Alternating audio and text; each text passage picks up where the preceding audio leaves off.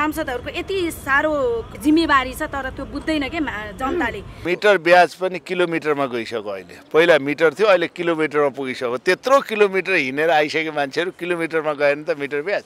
र यो डोरी सोरी बाँध्ने काम हिँड्न नै बन्द गर्ने काम पञ्चायतभन्दा अगाडि गएर हामीले गर्नु हुँदैन। सरकारले आज मित्र ब्याजी पीडितहरूलाई मुद्दा चलाउने र जेलमा लगाएर थुन्ने खालको जुन हरकत गर्दैछ यो कुरा तत्काल बन्द गरोस्। यस्ता अत्यन्तै गम्भीर चाहिँ यस्ता गतिविधि भइराख्दाखेरि पनि मन्त्रीहरूले देशबाट राइनाम दिनु नपर्ने सरकारबाट राइनाम दिनु नपर्ने। त्यो सिस्टमले काम गर्ने हो नि त। एउटा नेताले मात्रै देश बनाउने होइन नि। समाचार सम्प्रेषण गर्दाखेरि पनि समाचार गर्नु पर्यो कि। आफ्नो निजी विश्लेषण होइन। हामी सबै एक भयौँ भने हामी देश बनाउन सक्छौँ भन्ने मलाई आशा छ। सांसदहरूको सुरक्षा गर्नका लागि गठबन्धन सरकारले सिंहदरबार र संसद भवन चाहिँ डोरीले बेर्ने अवस्था आयो नि तपाईँज्यू न त संसद भवन डोरीले बाँध्नुपर्छ न त सिंहदरबार डोरीले बाँध्नु पर्दछ यो आवश्यक छैन र त्यो गर्नु गलत थियो। आज डोरी फुकायो भन्ने सुने। तपाईँ डोरीमा पर्नुभयो क्या? होइन हामी पर्ने भन्दा पनि आखिर पीडितलाई पीडामाथि अझ पीडा। तपाईँहरूकै सरकार छ नि त। हेर्नुहोस् त त्यसै मिटर ब्याजबाट सहकारीबाट पीडित। हेर्नुहोस् त अझ मुद्दा चलाउने तयारी छ संसदलाई नटेर्ने संसदलाई नसुन्ने सरकार संसदलाई छल्ने कहिले कहाँ जाने कहिले कहाँ जाने अनेक बाहनामा जाने र सिङ्गो संसदलाई छल्ने र संसदलाई निकम्म बनाउने खालको जुन खालको कुचेष्टा भएको छ। एक त उहाँहरूको जुन माग हो समयमा पुर्याउनु पर्थ्यो र हरेकजनाले नियम कानुन र अनुशासनमा चाहिँ रहनुपर्छ। निषेधित यात्रामा के अरे ठाउँमा नजानु भनेपछि जानुहुन्न उहाँहरू पनि तर उहाँहरूलाई पीडा छ उहाँहरूलाई भोक छ। भोक भोको पेटले आदर्श भन्दैन। त्यसकारण सरकारले चाहिँ यसलाई चाहिँ एकदमै संसदलाई नटेर्ने संसदलाई नसुन्ने सरकार संसदलाई छल्ने कहिले कहाँ जाने कहिले कहाँ जाने अनेक बाहनामा जाने र सिङ्गो संसदलाई छल्ने र संसदलाई निकम्म बनाउने खालको जुन खालको कुचेष्टा भएको छ। सांसदहरूको सुरक्षा गर्नका लागि गठबन्धन सरकारले सिंहदरबार र संसद भवन चाहिँ डोरीले बेर्ने अवस्था आयो नि तपाईँज्यू न त संसद भवन डोरीले बाँध्नुपर्छ न त सिंहदरबार डोरीले बाँध्नु पर्दछ यो आवश्यक छैन र त्यो गर्नु गलत थियो। आज डोरी फुकायो भन्ने सुने। तपाईँ डोरीमा पर्नुभयो क्या? होइन हामी पर्ने भन्दा पनि आखिर पीडितलाई पीडामाथि अझ पीडा। तपाईँहरूकै सरकार छ नि त। हेर्नुहोस् त त्यसै मिटर ब्याजबाट सहकारीबाट पीडित। हेर्नुहोस् त अझ मुद्दा चलाउने तयारी छ यो। मिटर ब्याज पनि किलोमिटरमा गइसक्यो अहिले। पहिला मिटर थियो अहिले किलोमिटरमा पुगिसक्यो। त्यत्रो किलोमिटर हिँडेर आइसके मान्छेहरू किलोमिटरमा गयो भने त मिटर ब्याज। मिटर ब्याज अब किलोमिटरमा ब्याङ्कहरूको त्यस्तै छ दन्किसक्यो। तर सरकारलाई अनुरोध गर्न चाहन्छौँ हामीले कानुन निर्माण गऱ्यौँ। कानुन निर्माण गरेर मात्र कहिलेकाहीँ समस्या समाधान हुँदैन। स्थानीय तहलाई दिने हो कि सरकारले हेर्ने हो कि कानुन बमोजिम पीडितहरूलाई सम्बोधन गर्ने कुरा सरकारले गर्नुपर्छ। अब भित्र पस्न उनीहरूले खोजे ककलले पास लागि त्यो व्यवस्था छ र त्यसलाई हामीले कानुनलाई मान्नुपर्छ अनुशासनलाई मान्नुपर्छ सबैको यो जिम्मेवारी हो भन्न चाहन्छु। गर्ने जाने के? हजुर, अन्तिमसम्म नबस्ने आफ्नो प्रश्न तेर्साउने कति न रस भयो जस्तो कि एउटा टाइम टेबल बनाउनु पर्यो। भन्ने पनि प्रश्न छ। यसमा चाहिँ तपाईँहरूको ध्यान मलाई नै तपाईँले क्वेसन गर्नुहुन्छ होला। मैले भन्दाखेरि चाहिँ म एउटा कुरा के भन्नु चाहन्छु भने यो मैले दुई वर्ष दुई महिना अगाडि प्लानिङ गरेको युनेस्कोसँग इन्टर पार्लिमेन्ट हाम्रो त्यो डिस्कसन भइरहेछ। यो के अरे नगरकोटमा। अ, उहाँहरू चाहिँ बाहिरका पार्लिमेन्टेरियनहरू आउँदै हुनु आउनु भएको छ एक्सपर्टहरू। र उहाँ त्यहाँ उद्घाटन गरेर म अहिले आएको हो र फेरि म जान्छु। मेरो कर्तव्य पनि गर्नु पऱ्यो किनभने मेरो कर्तव्य पनि पहिलो प्रायोरिटी यहाँ हो। होइन अलिकति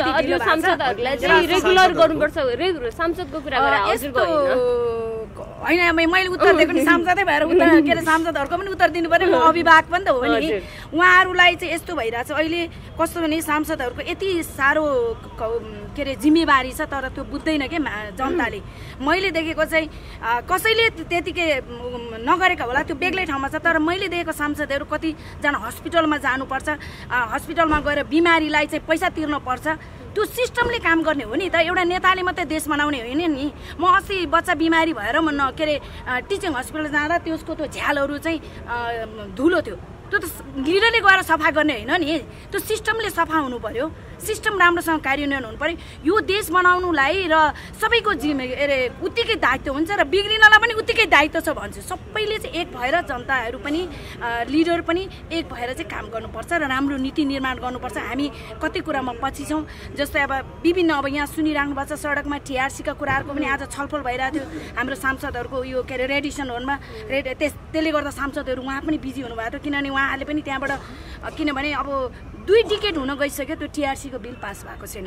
धेरै कुराहरू थाँती भएको छ तर हामी घनीभूत डिस्कसन गरिरहेछौँ। कसरी हामीले चाहिँ हामीले नयाँ तरिकाले जाने र यी च्यालेन्जेसहरूलाई तर हरेक चुनौतीको पछाडि चाहिँ सल्युसन छ। र आशा छ आशा राखौँ हामी मिडिया पनि तपाईँहरू पनि सकारात्मक तरिकाले जानुपर्छ। समाचार सम्प्रेषण गर्दाखेरि पनि समाचार गर्नु पऱ्यो कि? आफ्नो निजी विश्लेषण होइन। हामी सबै एक भयौँ भने हामी देश बनाउन सक्छौँ भन्ने मलाई आशा छ। धन्यवाद। जस्तो मिटर ब्याजी पीडितहरू चाहिँ अस्ति योभन्दा अगाडि यहाँ प्रवेश गर्नुभएको थियो। अहिले डोरीहरू लगाइएको छ। अहिले यो समग्र घटनालाई चाहिँ अब यहाँ उपसभामुख पनि हुन्छ। समग्र सभामुखज्यूले आइजी साहबसँग पनि कुरा गरेको पनि समाचारमा आइरहेको थियो। यो समग्र घटना अहिले डोरी टाङ्नु पर्ने स्थिति आएको छ। यसलाई चाहिँ उपसभामुखजीले कसरी? होइन म चाहिँ के भन्छु भने एक त उहाँहरूको जुन माग हो समयमा पुर्याउनु पर्थ्यो र हरेकजनाले नियम कानुन र अनुशासनमा चाहिँ रहनुपर्छ। निषेधित यात्रामा के अरे ठाउँमा नजानु भनेपछि जानुहुन्न उहाँहरू पनि तर उहाँहरूलाई पीडा छ उहाँहरूलाई भोक छ। भोक भोको पेटले आदर्श भन्दैन। त्यसकारण सरकारले चाहिँ यसलाई चाहिँ एकदमै सिरियसली संवेदनशील भएर उहाँहरूको मागलाई विचार गर्नुपर्छ र जनताले पनि निषेधित ठाउँहरूमा जानु हुँदैन। किनभने सबै के अरे सबै कुराको रुल हुन्छ रेगुलेसन गर्नको लागि त्यो व्यवस्था छ र त्यसलाई हामीले कानुनलाई मान्नुपर्छ अनुशासनलाई मान्नुपर्छ सबैको यो जिम्मेवारी हो भन्न चाहन्छु। धन्यवाद। पास दिनेहरू पो गलत थिए त। उनीहरूलाई लाएर थुन्नु गलत थिएन। बिना शर्त तिनीहरूलाई छोड्नुपर्छ भन्ने मेरो माग छ र यो डोरी सोरी बाँध्ने काम हिँड्न नै बन्द गर्ने काम पञ्चायतभन्दा अगाडि गएर हामीले गर्नु हुँदैन। कहाँ डराउने? डराएको भए त डोरी नै बाँध्दैन थियो नडराएर बाँधेको हो नि पर्खाल लाउँथ्यो। डराएको भए त पर्खाल लाउँथ्यो। नडराएर। हो होइन एउटा एउटा एउटा कुरा तपाईँलाई प्रवेशता प्रवेशता तपाईँलाई पास दिएर केही मान्य सदस्यहरूले पास दिएर म अब पार्टीको नाउँ लिन चाहन्न। पास दिएरै भित्र ल्याएका छन्। त्यतातिर पनि म धेरै कुरा गर्न चाहन्न। अन्त प्र तपाईँलाई प्रमाण के हुन्छ भने आउनेहरूको लिस्ट हेर्नुहोस् न। पास गएको ककलले कतिवटा पास लिएर गएका छन् त्यस दिन संसदबाट। कतिजना मान्छे छिराएका छन् किन छिराएका छन् कसले छिराएको छ त्यो त भोलि पर्सि जानकारी आउला एउटा आयोगै गठन भएको छ त्यहाँ एउटा एसएसपीको नेतृत्वमा। त्यो आइहाल्छ त्यसमा म प्रवेश गरिनँ। तर यो सांसद सबै पक्षका हुन् भित्र चाहिँ अहिले म सरकार मन्त्रीहरूले चाहिँ यति कुरा भन्छु मन्त्री मन्त्री मन्त्रीहरूले चाहिँ होइन मन्त्रीहरूले चाहिँ होइन सांसदहरूले पास दिएर छिराएका छन्। जस्तो माननीयज्यू यो व्यवस्थाको गहना हो संसद। संसद भवन। हो। कसैले यसलाई चाहिँ रत्न पार्कको संज्ञा दिनुहुन्छ कसैले यही संसदभित्र बसेर स्थानीय तहलाई चाहिँ छोरीको पालिका भन्नुहुन्छ।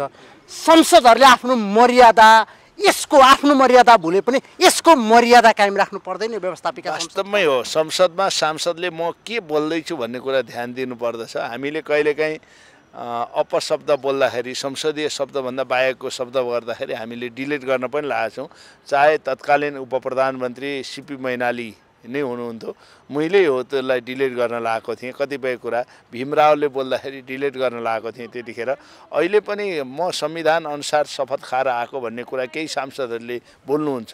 उहाँहरूलाई आवेग आउँछ। कोही व्यवस्थाको विरोध गर्दैखेरि है म एकदम हिरो हुन्छु भन्ने उहाँहरूलाई लागेको छ कसैलाई चाहिँ तपाईँको जे पाए त्यही भन्दा आजै चर्चा चलो।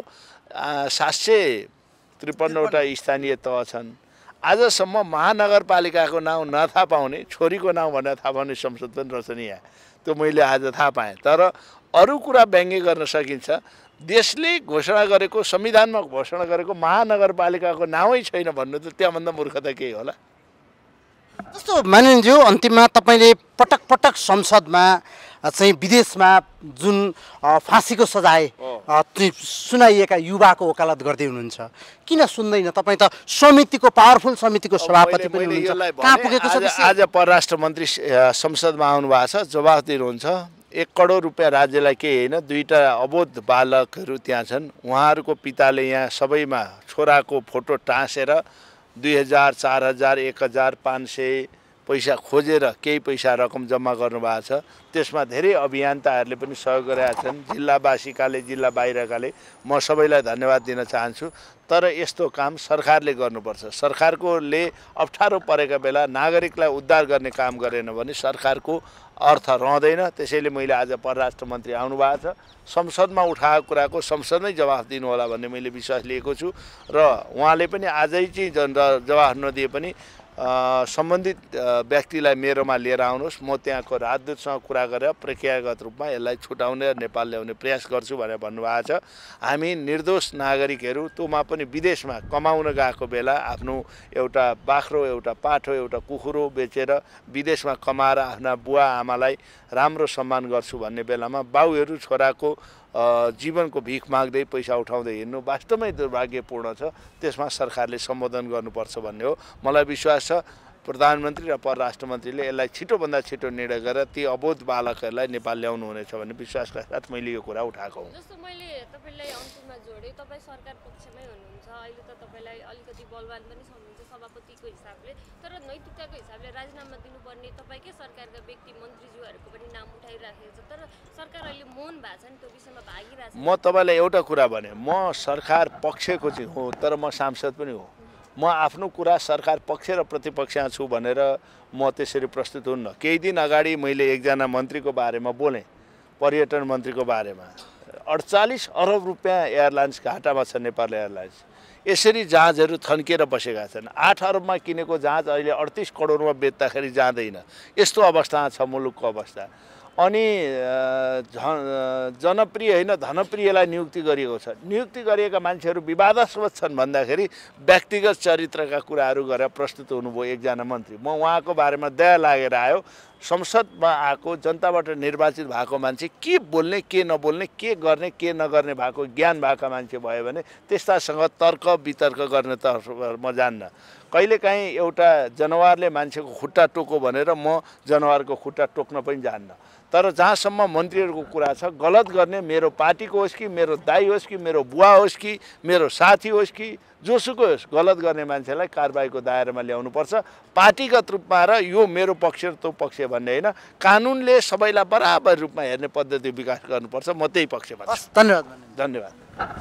अहिले सरकारको नेतृत्व केपी शर्मा ओलीले लिनु भएको छैन सरकारको नेतृत्व। सरकारको नेतृत्व अहिले पुष्पकमल दाहाल प्रचण्डले लिनु भएको छ। यसको जवाब हामीले सरकारसँग मागिराखेका छौँ। सरकारले संसद छलेर हिँड्न पाइँदैन। आजका दिनसम्म पनि सरकार जवाफ दिने ठाउँमा छैन। आज ती मित्र ब्याजी पीडितहरूको समस्यालाई सम्बोधन गर्नेतर्फ सरकार ध्यान दिएको छैन।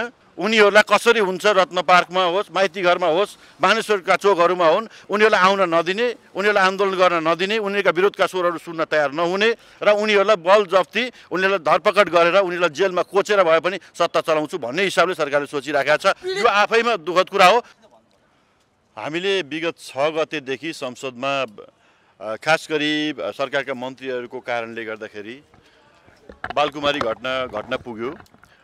त्यसबाहेक अख्तियारको छानबिनको दायरामा भएका मन्त्रीहरू अहिले पनि अ, बहालवाला स्थितिमा चाहिँ गाडीमा चाहिँ झन्डा हल्लाएर हिँडिरहेको अवस्था छ जसले गर्दाखेरि अनुसन्धानै प्रभावित हुने परिस्थिति एकातिर छ यो हामीले देखिरहेको बुझिरहेको स्थिति हो।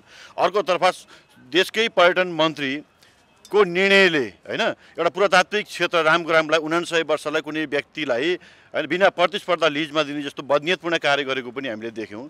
यस्ता अत्यन्तै गम्भीर चाहिँ राष्ट्रलाई नोक्सान पुग्ने र देशको सुशासनमा गम्भीर प्रश्न उठ्ने खालका यस्ता गतिविधि भइराख्दाखेरि पनि मन्त्रीहरूले देशबाट राजीनाम दिनु नपर्ने सरकारबाट राजीनाम दिनु नपर्ने प्रधानमन्त्रीले उनीहरूलाई बर्खास्त गर्न नपर्ने र यही सरकारले चाहिँ निर्वाह ढङ्गले काम गर्ने भन्ने कुरा कुनै पनि दुनियाँको लोकतान्त्रिक अभ्यास भएका मुलुकमा यस्तो सम्भव छैन। तर हाम्रोमा भइरहेको छ। हामीले यो विषयलाई उठाएर संसदमा निरन्तर रूपमा चाहिँ सरकारको जवाफ मागिरहेछौँ। तर प्रधानमन्त्री संसदमा आएर जवाफ दिनका निम्ति तयार हुनुहुन्न? उहाँ अनेक बाहनामा संसदलाई छल्न चाहनुहुन्छ त्यहाँबाट भाग्न चाहनुहुन्छ र आजसम्म हामी धैर्यतापूर्वक हेरिरहेका छौँ। सरकारलाई छिटोभन्दा छिटो सदनमा आएर सिङ्गो संसदले उठाइरहेका विषयहरूलाई सम्बोधन गर्नु पर्यो भनेर हामीले भनिरहेका छौँ। सरकार सुन्नका निम्ति तयार भएको छैन। स्वयं सभामुखज्यूले पनि आजसम्म पाँच पटक रुलिङ गरिसक्नुभयो सरकारलाई होइन? संसदमा आएर सरकारले जवाफ दिनु पर्यो भनेर रुलिङ गरिरहँदाखेरि पनि पाँचौँ पटकसम्म रुलिङ हुँदाखेरि पनि सरकारले सुन्न तयार भएन। त्यस कारणले यो लोकतान्त्रिक अभ्यासमा अत्यन्तै दुःखद कुरा हो। संसदलाई नटेर्ने संसदलाई अवज्ञा गर्ने संसदलाई नसुन्ने भनेको यो लोकतान्त्रिक अभ्यासमा असाध्य नसुहाउने तरिका हो। यस कारणले गर्दा हामीले भनिरहेका छौँ सरकार गैर जिम्मेवार नबनोस् संसदप्रति जवाफदेही बनोस् सिङ्गो सरकार राष्ट्रप्रति जवाफदेही बनोस् भन्ने हाम्रो भनाइ हो। जस्तो प्रतिपक्षलाई चाहिँ संसदको मर्यादा यसको गरिमाको विषयमाथि प्रश्न उठ्दैन। कहिले कसैले चाहिँ रत्न पार्कको संज्ञा दिनुहुन्छ कसैले चाहिँ जुन स्थानीय तहलाई चाहिँ छोरीको चाहिँ इलाका अथवा पालिका भन्नुहुन्छ के प्रतिपक्षले चाहिँ जे बोल्दा नि हुने हुन्छ माननीय होइन एउटा कुरा के भनेदेखि हामीले प्रष्ट रूपमा के भनिराखेका छौँ भने अहिले मन्त्रीहरूको आक्रमणताको कारणले यो मुलुकमा सुशासन कायम गर्न सकेनौँ। मन्त्रीहरूको आक्रमणताको कारणले दुईजना युवाहरूले को कत्ल्याम हुने स्थिति सिर्जना भयो। र मन्त्रीहरूको कारणले यो देशमा चाहिँ अख्तियारले छानबिनका लागि बोलाएका मान्छेहरूले मन्त्रीको कुर्सी छोड्न तयार नभएको कारणले गर्दाखेरि यस्ता अनुसन्धानका प्रक्रिया प्रभावित हुने अवस्था सिर्जना भयो। भनेर सुशासनका मुद्दाहरूलाई उठाएर संसदमा निरन्तर रूपमा हामीले बोलिरहँदाखेरि सरकारले नसुने पछाडि निश्चित रूपमा यसका अनेकन बाई प्रडक्टहरू जन्मन्छन्। सरकार संसदलाई छल्ने कहिले कहाँ जाने कहिले कहाँ जाने अनेक वाहनामा जाने र सिङ्गो संसदलाई छल्ने र संसदलाई निकममा बनाउने खालको जुन खालको कुचेष्टा भएको छ यसले यी सबै कुराहरूको परिस्थितिहरू निर्माण गराउँदै लगेको छ। यसमा स्वयं सरकार जम्मा जिम्मेदार भन्नुपर्छ जवाफदेही भन्नुपर्छ भन्ने भनिराख्दा प्रतिपक्षको भूमिका पनि त जति खेल्नु पनि त्यो देखिएको छैन। त शीर्ष नेताहरू जो हुनुहुन्छ उहाँहरू पनि उपस्थित हुनुपर्छ नि त। तपाईँहरू दलको एक नेतालाई मात्रै प्रतिशतमा अगाडि राखेर त यो तरिका भएन नि त। तपाईँको अध्यक्षज्यू पनि जानुभएको छ चितवनमा वर्ष भवनकै कुरा गर्ने हो भने तपाईँहरू पनि गए जिम्मेवारी अहिले अहिले अहिले सरकारको नेतृत्व केपी शर्मा ओलीले लिनु भएको छैन सरकारको नेतृत्व। सरकारको नेतृत्व अहिले पुष्पकमल दाहाल प्रचण्डले लिनुभएको छ। त्यस कारणले स्वाभाविक रूपले प्रतिपक्षीहरूले सरकारको प्रमुखलाई प्रश्नहरू सोधिएको छ। उहाँप्रति प्रश्नहरू तेर्सिएका छन्। त्यसको जवाब सरकारको नेतृत्व गरेको नाताले उहाँले जवाब दिने हो। प्रतिपक्षले दिने होइन। त्यस कारणले गर्दाखेरि अहिले सरकारसँग यो हाम्रो एक प्रकारको विरोध हो सदनभित्र भएको। यसको जवाब हामीले सरकारसँग मागिराखेका छौँ। त्यस कारणले अरू दलका नेताहरू संसदमा उपस्थित हुनुभयो भएन भन्ने आधारमा सरकारले संसद छलेर हिँड्न पाइँदैन। सरकार संसदप्रति जवाबदेही बन्नुपर्छ। यति गम्भीर जनजीविकाका सवालहरूका मुद्दाहरू उठेका छन्। सुशासनका मुद्दाहरू उठेका छन्। राष्ट्रिय हितका अनेक सवालहरूमा मुद्दाहरू उठिरहेका छन्। यति धेरै प्रश्नहरू उठ्दै राख्दाखेरि स स्वयं प्रधानमन्त्री सरकारका मन्त्रीहरू संसदलाई छलेर बाहिर हिँड्ने कुराले लोकतन्त्र बलियो पनि हुँदैन र आम जनतामा अरू निराशा बढेर जाने सिङ्गो व्यवस्थामाथि नै एक प्रकारले भन्यो भने प्रश्न उठाउने ठाउँहरू रहने स्थिति सिर्जना हुँदैछ। सरकारको अति आक्रमणताको कारणले त्यस कारणले गर्दा सरकार जवाफदेही बनोस् भन्ने हो। आजका दिनसम्म पनि सरकार जवाफ दिने ठाउँमा छैन। यो निकै गम्भीर विषय छ। यदि एक्काइस गते सभामुखले रुलिङ गरे बमोजिम प्रधानमन्त्री आएर संसदमा जवाफ दिनु भएन भने हामीले अब योभन्दा धेरै निर्मम र कठोर खालको निर्णय गरेर अगाडि बढ्नुपर्ने अवस्था छ। जस्तो माननीयज्यू तपाईँहरूको सुरक्षा गर्न अथवा सांसदहरूको सुरक्षा गर्नका लागि अब पीडित जनताबाट सांसदहरूलाई सुरक्षित राख्नका लागि डोरी बान्नुपर्ने भयो होइन त सरकारले? सरकार त्यो स्थितिमा त्यो निरीयता प्रकट गरिराखेको छ। आज ती मित्रव्याजी पीडितहरूको समस्यालाई सम्बोधन गर्नेतर्फ सरकार ध्यान दिएको छैन। उनीहरूलाई कसरी हुन्छ रत्न पार्कमा होस् माइती घरमा होस् मानेश्वरका चोकहरूमा हुन् उनीहरूलाई आउन नदिने उनीहरूलाई आन्दोलन गर्न नदिने उनीहरूका विरोधका स्वरहरू सुन्न तयार नहुने र उनीहरूलाई बल जफ्ती उनीहरूलाई धरपकड गरेर उनीहरूलाई जेलमा कोचेर भए पनि सत्ता चलाउँछु भन्ने हिसाबले सरकारले सोचिराखेको छ। यो आफैमा दुःखद कुरा हो। सरकारको यो आक्रमणताको म निन्दा गर्छु। पीडितहरू त्यसै त पीडित लघु वित्त छन्, हो। सहकारीबाट। तपाईँहरू चाहिँ हामीले नीति बनाइदिएका छौँ मुद्दा हाल भन्छ सरकार। अनि अझै सरकारले चाहिँ मुद्दा चलाउने तयारी गरिरहेको छ। के हेरेर बसेको छ प्रमुख प्रतिपक्ष? अनि हामीले यही कारणले गर्दा गृहमन्त्रीलाई भेट्यौँ नेकपा एमालेको संसदीय दलका माननीयज्यूहरू गृहमन्त्रीलाई भेटेर हामीले के भन्यौँ भनेदेखि सरकारले आज मित्रव्याजी पीडितहरूलाई मुद्दा चलाउने र जेलमा लगाएर थुन्ने खालको जुन हरकत गर्दैछ यो कुरा तत्काल बन्द गरोस्। बरु मित्रव्याजीहरूका समस्यालाई छिटोभन्दा छिटो सम्बोधन गर्नेतर्फ सरकार अगाडि बढोस् भनेर हामीले गृहमन्त्रीको कार्यकक्षमै गएर हामीले आफ्ना कुराहरू राख्यौँ दबाब दियौँ। त्यही कारणले गर्दा सरकार त्यसबाट ब्याग हट्न बाध्य भएको छ। हामी उहाँहरूका समस्यासँग अत्यन्तै गम्भीर छौँ। त्यसलाई त्यही ढङ्गले हामीले लिइराखेका छौँ अब अहिले बाहिर आइरहेको छ उपनिर्वाचन पनि अब दलहरूलाई उपनिर्वाचनमा इलामको दुई नम्बरमा चाहिँ सुभाष नेमाको सुपुत्रको नाम चाहिँ नेकपा एमालेको तर्फबाट अहिले मिडियामा धेरै चर्चामा आएको छ। उहाँको नाम चर्चामा आएको छ युवा हो पढे लेखेको विद्वान हो होइन? वास्तवमा चाहिँ एउटा उहाँको उम्मेदवारी हुँदा पनि कुनै अन्यथा हुने कुरा छैन। त्यो निश्चित रूपमा मिडियामा आउने कुरा सामान्य र स्वाभाविकै म ठान्छु। तर पनि पार्टीले यस सम्बन्धमा कुनै पनि निर्णय गरेका छैन। पार्टीले उपयुक्त निर्णय गर्ला। थ्याङ्क यू भेरी मच है हस् धन्यवाद।